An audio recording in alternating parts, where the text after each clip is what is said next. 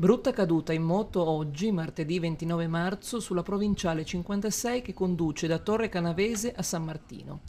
Il motociclista, in sella alla sua Yamaha R6, per cause in fase di accertamento ha perso il controllo del mezzo, cadendo rovinosamente a terra, a bordo strada, all'altezza di una doppia curva.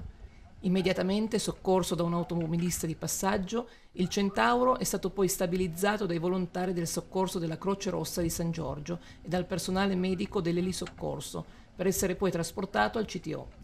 Sul posto per i rilievi del caso sono intervenuti i carabinieri della stazione di Strambino. L'uomo, cosciente, non parrebbe in pericolo di vita.